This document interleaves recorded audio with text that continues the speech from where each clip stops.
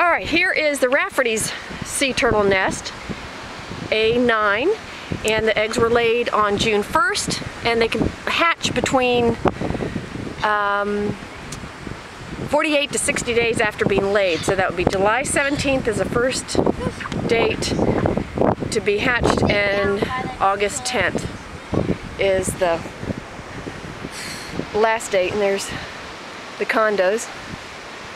And this is our location.